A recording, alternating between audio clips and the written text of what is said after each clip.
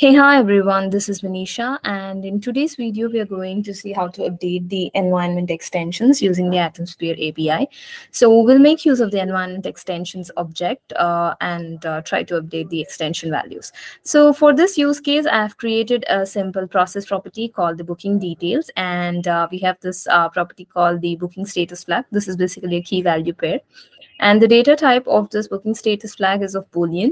So um, so as you see uh, currently the value uh, of this property in the build mode is uh, false. So um, let's try to so i've included this property in this process. Uh, I, i'm just the value of this process property using a notify shape. I have extended the process property as part of the extensions. So uh, let me try to, um, you know, just show you the extension as well. So I've deployed the process to this test environment. Let me go to the environment extensions and click on the process property. So um, you see booking underscore details, that's the property. And uh, if you see the use default value uh, like this setting is currently turned on. So let's try to update these values by you know making the use default uh, you know unchecked and uh, let's make the booking status flag to true.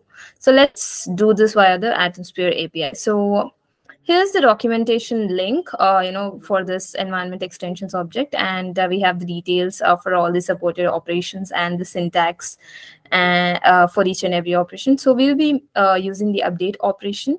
So um, we can either uh, you know send the request in the xml format or the json format.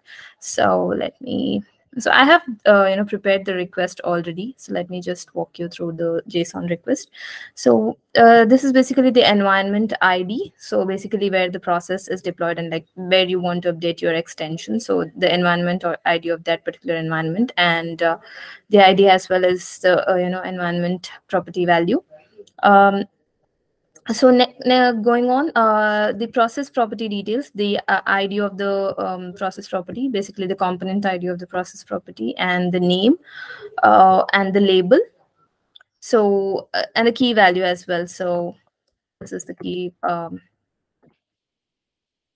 if you go to the process property you can find the key value here. So you'll have to you know um, copy this value and paste it in your uh, request. And um, here you will have to you know uh, pass the value whatever you want to set for this properties uh, so if it is a true or uh, false uh, since it's of boolean type. So and uh, the same goes as well for the use default like if you want this setting to be turned on or off we can control you'll have to send the respective value through this request. So um, i'm going to execute this api from the postman so uh, let me quickly go back to the extensions. So currently the use default is turned on, right? So let's try to turn it off. Let's basically change it to false. And uh, uh, this booking status flag currently it is set to false, right? So let's try to change it to true and see.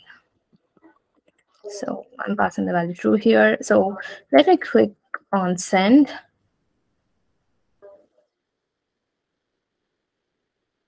So as you see, we have received a 200 OK. That means our request was executed successfully. So this uh, should have updated the extension. So let me, you know, uh, just refresh the extensions and see. Click on the environment extensions, process properties. So there you go. The use default is turned off and the booking status flag is set to true. So I hope this uh, information helps and thank you for watching.